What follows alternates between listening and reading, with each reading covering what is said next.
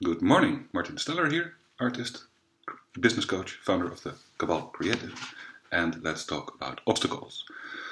Because isn't it funny how the moment you decide something, there's an obstacle? I'm faced with that right now. I made a really big decision for myself and my work for uh, the coming year and the future uh, a few days ago, about a week ago. And wouldn't you know, all the circumstances are off stars are out of alignment. The people uh, I'm supposed to be doing this project with uh,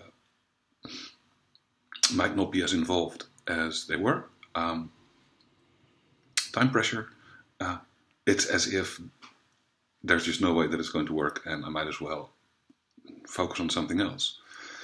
That voice, that decision, or potential potential decision, decision uh, is the voice of resistance. That's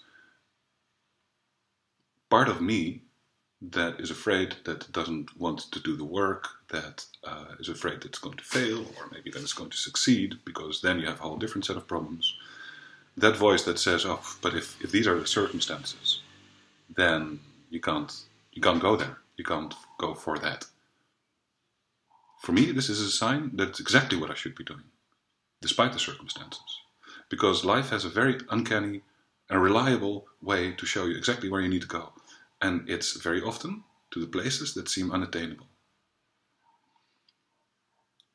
So the question for today is what is there that you wanted to do?